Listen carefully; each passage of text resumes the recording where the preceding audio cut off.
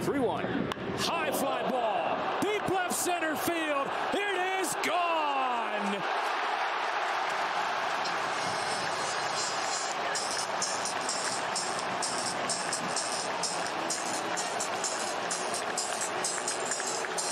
Mookie Betts, a two-run home run. First homer of the year for the Dodgers, and it's a two-run game.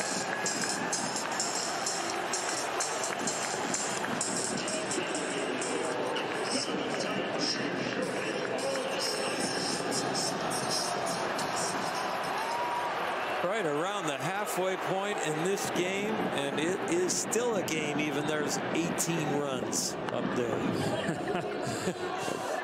Generous strike there on Ohtani after he hit a career high 39 home runs last year.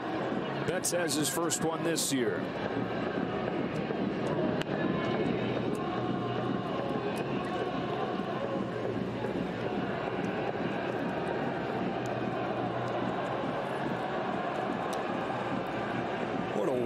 Game this has been. Amazing. Uh, like you said, only in the fifth.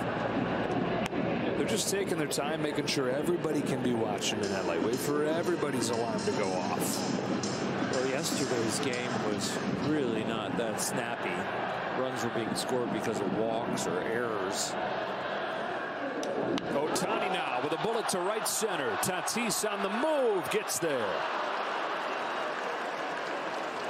Today they're being scored because of loud shots. Whether they're line drives, home runs over the left field wall, balls off the wall and right, both teams are finding the barrel very often.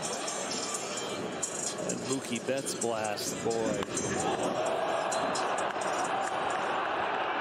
Yeah, one of the seven extra base hits.